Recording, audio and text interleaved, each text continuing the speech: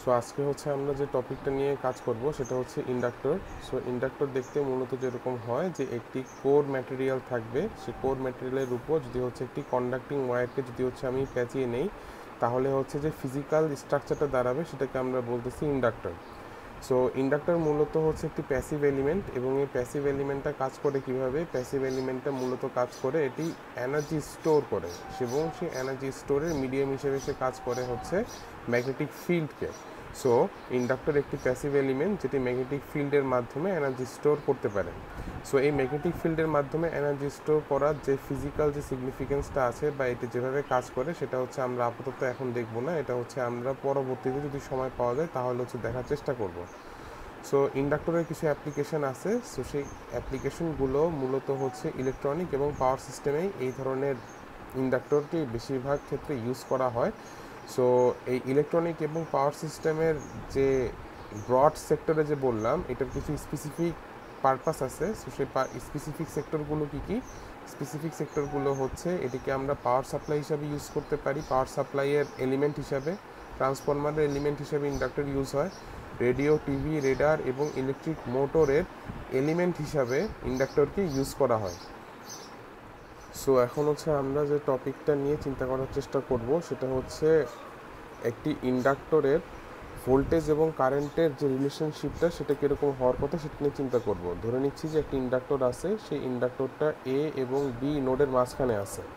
এ এবং বি নোডের মাঝখানে আছে একটি ইন্ডাক্টর এবং সেই ইন্ডাক্টরের যে ভ্যালুটা আছে, সেই ভ্যালুটাকে আমি ধরে নিচ্ছি এল সো সেই ইন্ডাক্টরের এ প্রান্ত থেকে এ নোড থেকে বি নোডের দিকে এ নোড থেকে বি নোডের দিকে আই পরিমাণ কারেন্ট ফ্লো করতেছে এবং এই আই পরিমাণ কারেন্ট ফ্লো করার জন্য এ প্রান্তে এবং বি প্রান্ত, এই দুইটা নোডের মাঝখানে ভি পরিমাণ ভোল্টেজ জেনারেট হচ্ছে।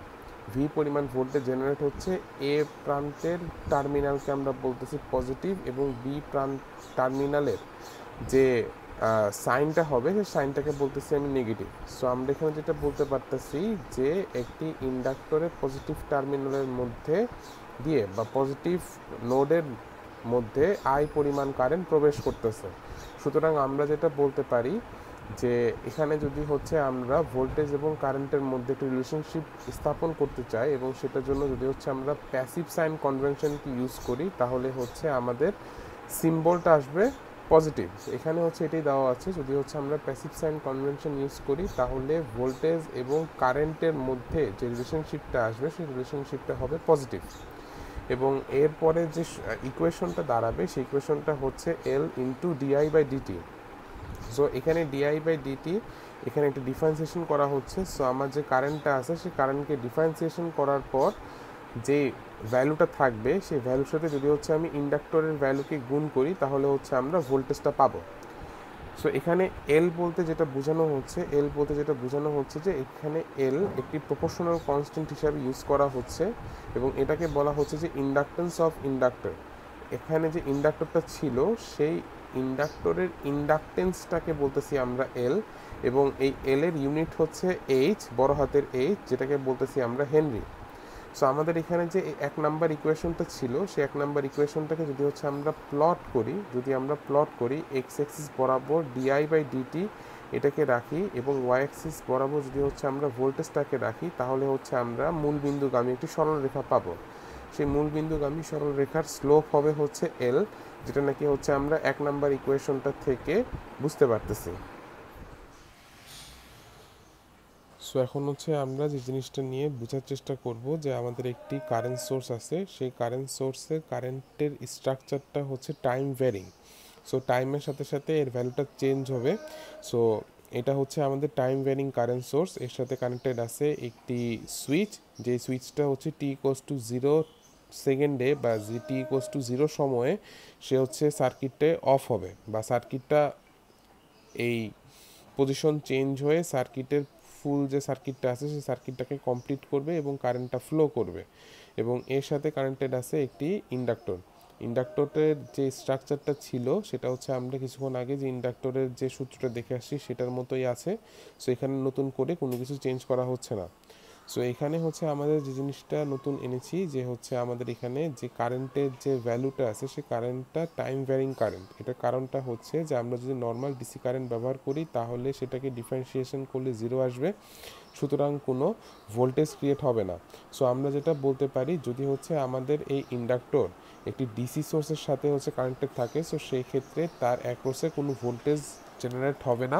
So voltage equals to zero আসলে আমরা যেটা বলতে পারি যে ভোল্টেজ ইকুয়ালস টু জিরো আসলে ভোল্টেজ ইকুয়ালস টু জিরো আসলে আমরা যেটা বলতে পারি যে সার্কিটটা শর্ট সার্কিটেড ঠিক আছে?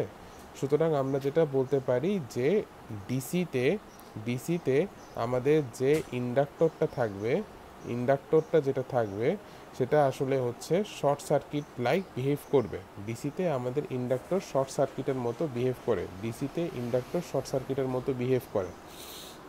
সো এরপরে হচ্ছে আমাদের জিনিসটা, এটা হচ্ছে আমাদের মেইন কনসেপ্টের বাইরে, একটু আলাদা একটু কনসেপ্ট জাস্ট বোঝার জন্য।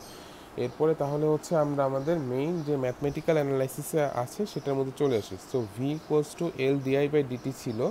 আমাদের টার্গেট হচ্ছে এখান থেকে কারেন্টের ভ্যালুটাকে বের করা। কারেন্টের ভ্যালুটাকে বের করা। সো আমরা যেটা বুঝতে পারতেছি যে আমাদের একটা ইন্টিগ্রেশন করতে হবে। সো নর্মালি ইন্টিগ্রেশন করলাম, সেটাকে হচ্ছে মাইনাস ইনফিনিটি থেকে টি পর্যন্ত একটি ইন্টিগ্রেশন করা হচ্ছে। মাইনাস ইনফিনিটি থেকে টি পর্যন্ত একটি ইন্টিগ্রেশন করা হচ্ছে। সো এখন সার্কিটটা যদি একটু খেয়াল করি, আমরা যেটা জানি যে আমাদের সার্কিটের মধ্যে কারেন্টের ফ্লো শুরু হবে টি ইকোয়াস টু জিরো সেকেন্ডে যখন circuit switch off, switch on হবে, সুইচ অন হয়ে যখন সার্কিটটা ক্লোজ হবে, কেবলমাত্র তখনই হচ্ছে আমাদের কারেন্টটা ফ্লো করবে।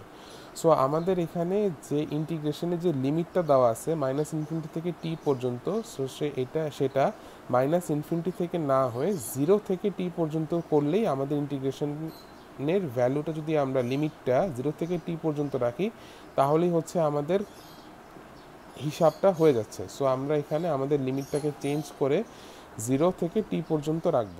সো এখন আমাদের টার্গেট হচ্ছে যে একটি ইন্ডা এখানে যে ইন্ডাক্টরটা ছিল, এখানে যে ইন্ডাক্টরটা ছিল, সেই ইন্ডাক্টরের মধ্য দিয়ে কি পরিমাণ পাওয়ার ফ্লো করতেছে, কি পরিমাণ পাওয়ার ডেলিভার করা হচ্ছে বা এটা কি পরিমাণ পাওয়ার সোর্স থেকে ইন্ডাক্টরে কি পরিমাণ পাওয়ার আসছে সেটা হচ্ছে আমাদের এখন বের করতে হবে। সো অ্যাজ ইউজুয়াল যে নিয়মে আমরা যেটা জানি যে পাওয়ার বের করার সূত্র হচ্ছে P equals to V into I so এখানে যে ভোল্টেজের যে সূত্রটা আছে সেই সূত্রটাকে রেখে যদি হচ্ছে আমরা এই ইকুয়েশনে রিপ্লেস করি ভিকে তাহলে যেটা দাঁড়ায় যে P equals to L into D I by D T তার সাথে গুণ হবে হচ্ছে আই সো এখানে আমরা একটা জিনিস যদি চিন্তা করি যে এখানে যেই সোর্সটা আছে, সেই সোর্স থেকে ইন্ডাক্টরে কিছু পরিমাণ পাওয়ার ফ্লো বা ডেলিভার করা হচ্ছে। এই পাওয়ারটা, যে পরিমাণ পাওয়ারটা হচ্ছে ইন্ডাক্টরে ডেলিভার করা হচ্ছে, সেই পাওয়ারটা কিন্তু ইন্ডাক্টরে এনার্জি হিসাবে স্টোর থাকবে। সেই পাওয়ারটা কিন্তু ইন্ডাক্টরে এনার্জি হিসেবে স্টোর থাকবে। আমরা আমাদের ডিসকাশন শুরু করার ফার্স্টের দিকে যেটা বলেছিলাম, যে একটি ইন্ডাক্টরে পাওয়ার স্টোর করে এবং সেটা স্টোর করে সে ম্যাগনেটিক ফিল্ডের মাধ্যমে। সো আমরা এখানে সেই অ্যানালজিটা আরেকবার আনতে পারি যে আমার সোর্স থেকে যে পরিমাণ পাওয়ারটা ডেলিভার করা হচ্ছে, সেই পাওয়ারটাই ইন্ডাক্টর সেভ করে রাখবে বা স্টোর করে রাখবে। সো আমরা এখানে যেটা হিসাব করতে পারি যে এনার্জি স্টোরের যে হিসাবটা হবে, সেটা এখন আমরা করতে পারি। সো এনার্জি স্টোর আমরা normal P into D T এবং সেটার ইন্টিগ্রেশন করতে হবে মাইনাস ইনফিনিটি থেকে টি পর্যন্ত। সো আমরা একটুক্ষণ আগেই ইকুয়েশন থেকে পি এর মানটা বের করেছিলাম। সো এখন হচ্ছে আমরা এই ইকুয়েশনে পি এর মানটা রিপ্লেস করলাম। রিপ্লেস করার পর যেটা দেখা যাচ্ছে যে এই ডিটি আর এই ডিটি পরস্পর হচ্ছে ক্যান্সেল আউট করে যাচ্ছে। সো আমাদের ইকুয়েশনটা দাঁড়াল এরকম। সো আমরা এখন যেটা করতে পারি, এখানে যে এল এর মানটা ছিল, সেই এলটা কিন্তু একটা প্রপোর্শনাল কনস্ট্যান্ট বা এটা কিন্তু হচ্ছে ভেরিয়েবল না। সো হচ্ছে আমরা এই এলকে ইন্টিগ্রেশনের বাইরে নিয়ে আসলাম। নিয়ে আসার পর এখানে যেটা আসলো যে আই ইন্টু ডিআই এটার ইন্টিগ্রেশন করতে হবে। সো আমরা এটার যদি সূত্র ইন্টিগ্রেশনের সূত্র যদি বসাই, তাহলে যেটা আসবে যে I square divided by two আসবে। সো আমরা সেটাই করলাম। সেটা করার পর এখানে যেটা আসলো যে W equals to L into I square by two এবং সেটার ইন্টিগ্রেশনের যে লিমিটটা ছিল মাইনাস ইনফিনিটি থেকে টি পর্যন্ত। সো এখন আমরা হচ্ছে এই ইন্টিগ্রেশনের লিমিটটাকে দুইটা ভাগে ভাগ করে নিব। দুইটা ভাগ কি কি হবে? একটা হচ্ছে মাইনাস ইনফিনিটি থেকে জিরো পর্যন্ত এবং আরেকটা পার্ট থাকবে জিরো থেকে টি পর্যন্ত। টি হচ্ছে একটি নির্দিষ্ট একটি সময়, যে সময় পর্যন্ত আমরা সার্কিটটাকে অন রাখব ওকে সো আমরা এর আগে যে সার্কিটটা ছিল, সেই সার্কিট থেকে যে জিনিসটা দেখতে পেরেছিলাম, যে সুইচটা অন হতো টি কোস টু জিরো সেকেন্ডে এর আগে কিন্তু সুইচ অফ থাকতো। সো আমরা যেটা বলতে পারি যে মাইনাস ইনফিনিটি থেকে জিরো পর্যন্ত যে টাইমটা ছিল, সেই টাইমের মধ্যে আসলে কোনো প্রকার পাওয়ার ডেলিভার হয়নি। কোনো পরিমাণ এনার্জিও এই টাইমে স্টোর হওয়ার কথা না। সো আমরা এই যে পোর্শনটা আছে বা এই যে অংশটা আছে, এই অংশটার জন্য স্টোর এনার্জি বলতে পারি জিরো এবং তার পরবর্তী যে পার্টটা ছিল, সেই পার্টের মধ্যে এখানে আই যে আছে আইটা কিন্তু হচ্ছে টি এর একটি ফাংশন আমরা কিন্তু ফার্স্টের দিকেই ইকুয়েশন যখন আমরা আমরা এটা প্রমাণ করা শুরু করেছি, তার ফার্স্টের দিকে যেটা বলেছি যে আই হচ্ছে টাইমের একটি ফাংশন আই হচ্ছে টাইমের একটি ফাংশন বা টাইম ভ্যারিং কারেন্ট এখানে। সো হচ্ছে আমরা নর্মাল যে ইন্টিগ্রেশনটা আছে সো এখানে যেটা বলতে পারি যে আই স্কোয়ার ওইখানে হচ্ছে আমরা নর্মাল ইন্টিগ্রেশনটা করলাম ভ্যালুগুলো বসিয়ে যেটা পেলাম যে half L I square so আমরা যেটা বলতে পারি যে একটি ইন্ডাক্টরের মধ্যে যে পরিমাণ এনার্জি স্টোর থাকে, তার ভ্যালুটা হচ্ছে half into L into I square so এখন হচ্ছে আমরা সাদিকু স্যারের বইয়ের এক্সাম্পল সিক্স পয়েন্ট এইট এই অঙ্কটা দেখার চেষ্টা করব। এই অঙ্কতে যেটা বলা আছে যে হচ্ছে একটি ইন্ডাক্টর দেওয়া থাকবে। সেই ইন্ডাক্টরের মধ্য দিয়ে আইটি পরিমাণ কারেন্ট ফ্লো করে এবং সেই ইন্ডাক্টরের ভ্যাল ইন্ডাক্টেন্সের ভ্যালুটা দেওয়া আছে পয়েন্ট ওয়ান হেনরি আমাদের এখানে যেটা বের করতে হবে সো এই ইন্ডাক্টরের অ্যাক্রোসে ভোল্টেজ ড্রপটা কত সেটা এবং এই ইন্ডাক্টরে কী পরিমাণ এনার্জি স্টোর আছে, সেটার ভ্যালু বের করতে হবে। সো আইটির মানটা দেওয়া আছে আইটির মানটা হচ্ছে I T equals to ten into T into e to the power minus five T ampere so এই পরিমাণ কারেন্টটা ফ্লো করতেছে। সো আমরা যেটা জানি যে ভোল্টেজ ড্রপের সূত্রটা হচ্ছে V equals to L D I by D T so এটা দিয়ে হচ্ছে আমরা আমাদের ভোল্টেজ ড্রপটা বের করতে পারব। সো ভোল্টেজ ড্রপের মধ্যে এল এর মানটা হচ্ছে পয়েন্ট ওয়ান এবং আইটির মানটা হচ্ছে যেটা দেওয়া ছিল সেটাকে আমরা বসিয়ে দিলাম। বসিয়ে দেওয়ার পর এখানে টেন কনস্ট্যান্ট আছে, সেই কনস্ট্যান্টটাকে বের করে আনলাম এবং তারপরে যে পার্টটা থাকবে, সেই পার্টকে আমাদের ডিফারেন্সিয়েশন করতে হবে। সো এই ডিফারেন্সিয়েশন করার জন্য আমরা ইউভি ফর্মুলাটা অ্যাপ্লাই করতেছি। সো ইউভি ফর্মুলাটা আমি একবার রিভিউ করে দিচ্ছি। ইউভি ফর্মুলাটা হচ্ছে যে ইউকে একবার কনস্ট্যান্ট রেখে ভিকে ফার্স্টে ডিফারেন্সিয়েশন করা এবং তারপরের বার ভিকে কনস্ট্যান্ট রেখে ইউকে ডিফারেন্সিয়েশন করা। সো এই ক্ষেত্রে আমি সেম কাজটা করতেছি যে ফার্স্টে আমি টিকে কনস্ট্যান্ট রেখে e to the power minus five T কেবলমাত্র এই পার্টটিকে কনস্ট ডিফারেন্সিয়েশন করতেছি এবং তারপরের বার যে পার্টকে ফার্স্টের বার ডিফারেন্সিয়েশন করা হয়েছিল, এখন সেই পার্টকে আমি স্থির রাখব বা কনস্ট্যান্ট রাখব এবং যে পার্টকে ফার্স্টে কনস্ট্যান্ট রাখা হয়েছিল সেকেন্ড পার্টে গিয়ে সেই পার্টকে হচ্ছে আমরা ডিফারেন্সিয়েশন করব। সো এইভাবে হচ্ছে সূত্রটা লিখলাম, লেখার পর হচ্ছে নর্মাল ডিফারেন্সিয়েশন করা হলো। সো এখানে e to the power minus five T আছে। সো এই ডিফারেন্সিয়েশন করার জন্য আমরা হচ্ছে ই টু দি পাওয়ার এম এক্সের ডিফারেন্সিয়েশনের যে ফর্মেটটা ছিল, সেই ফর্মেটটা কি অ্যাপ্লাই করব? So e to the power M এক্সকে ডিফারেন্সিয়েশন করলে ভ্যালুটা দাঁড়ায় M into e to the power M X so এখানেও সেম কাজটা হবে। এখানে এম এর ভ্যালুটা হচ্ছে minus five so minus five into e to the power minus five T এবং তারপর এখানে যেটা ছিল যে ডিটিকে ডিফারেন্সিয়েশন করলে ওয়ান থাকে সো সে ওয়ানকে আমরা রেখে দিলাম। এরপরে হচ্ছে আমরা যে কাজটা করেছি, যে এখানে ই to the power minus five T দুই পার্টি কমন আছে সো কমন নিয়ে ইকুয়েশনকে একটু বেটার শেপে রিপ্রেজেন্ট করার চেষ্টা করা হয়েছে। সো তারপরে হচ্ছে আমাদের ভ্যালু যেটা দাঁড়ায়, যে V equals to one minus five T into e to the power minus five T এত ভোল্ট হচ্ছে আমাদের ভোল্টেজের মানটা দাঁড়ায়। সো এরপর আমাদের যে জিনিসটা বের করতে বলা হয়েছে কারেন্ট স্টোরের ভ্যালুটা সো কারেন্ট স্টোরের ভ্যালুটার জন্য আমরা সূত্র অ্যাপ্লাই করব half L I square so L এর মান যেটা ছিল পয়েন্ট ওয়ান হেনরি সেটা নিলাম এবং আই এর মান যেটা দেওয়া ছিল, সেটাকে স্কোয়ার করে নর্মাল গুণ করে হচ্ছে আমরা আমার গুণ করলেই আমরা আমাদের স্টোর এনার্জিটা পেয়ে যাচ্ছি। সো এরপরে হচ্ছে আমরা একটু প্র্যাকটিস প্রবলেম দেখব। Practice problem six point eight so এখানেও সেম সিচুয়েশনারিওটাই দেওয়া আছে যে একটি ইন্ডাক্টর আছে।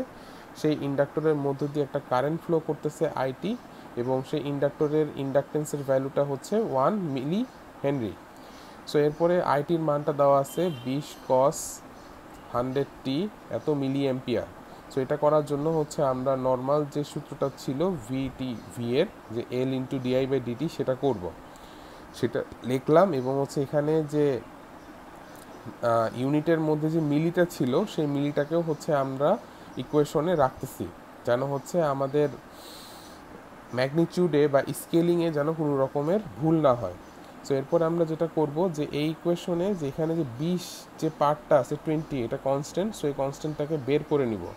সো কনস্ট্যান্টকে বের করে নেওয়ার পর যেটা দাঁড়ায় যে ওয়ান মিলি এবং টোয়েন্টি মিলি মিলির যে পার্ট ছিল সেটাকেও আমরা বের করে নিলাম এবং তারপরে কেবলমাত্র থাকে cos hundred T so cos hundred টিকে আমার ডিফারেন্সিয়েশন করতে হবে। এই ডিফারেন্সিয়েশন করার জন্য আমরা কস এম এক্সের ডিফারেন্সিয়েশনের ফর্মেটটা ইউজ করতে পারি। সো কস এম এক্সকে ডিফারেন্সিয়েশন করলে যেটা দাঁড়াবে যে minus M sine M X so সেইভাবে যদি হচ্ছে আমরা লিখি, তাহলে যেটা দাঁড়ায় যে hundred into minus sine hundred T so এরপরে হচ্ছে এখানে যে পার্ট ছিল, সেই পার্টকে যদি আমি গুণ করে দিই, তাহলে যেটা দাঁড়ায় যে V T equals to minus two sine hundred T এরপরে আসবে হচ্ছে আমার half L I square half L I স্কোয়ারে এল এর মানটা বসালাম এবং আই এর যে পার্টটা ছিল সেই পার্টকে আমি স্কোয়ার করে দিলাম।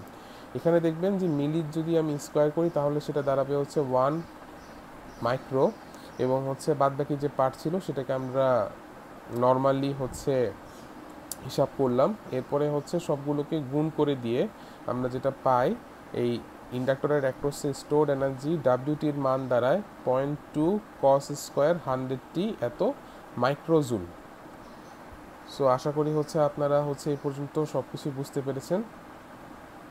যদি কোনো প্রশ্ন থাকে, তাহলে হচ্ছে এই ভিডিওর কমেন্ট সেকশনে প্রশ্নগুলো আস করার জন্য আমি আপনাদের অনুরোধ করতেছি। Thank you